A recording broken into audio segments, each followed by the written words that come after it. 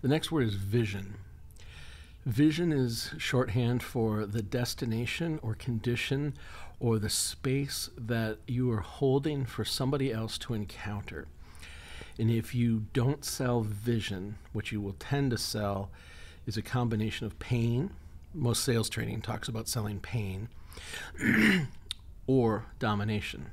And when you sell pain, you sell domination because a customer or an employee or the person that follows you has to choose to submit and admit something about who they are or their condition in order to engage what you're offering.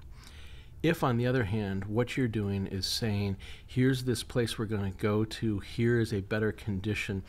So Jesus says, I am the way. Paul says, follow me as I follow Christ. And there's this idea that you're going to a place. And if you focus on that, you can stay clean and you can let the work of what that place is worth and how it affects somebody do its own thing. The alternative to that is to get caught up in somebody else's head trash, shortcomings, smaller pains, or the distractions and doubts that go with what it means to take a worthwhile journey. So, what vision is, is the courage to hold a focus on a thing that is beyond and endures the yeah buts, uh, the misgivings of what somebody who's following you might think, and holds a focus on the value that comes at the end. So if you engage this plan I have for you or this path to this place, you will encounter uh, an outcome worthwhile. The real distraction is to f- focus on less than that.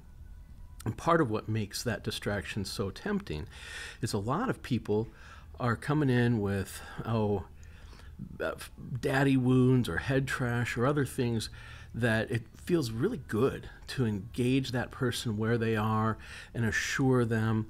And there's a there's a complementary word to this whole thing called bless or blessing that says if I'm the one who tells you you're pretty, will you believe it? If I'm the one who tells you you're good enough, will that stick?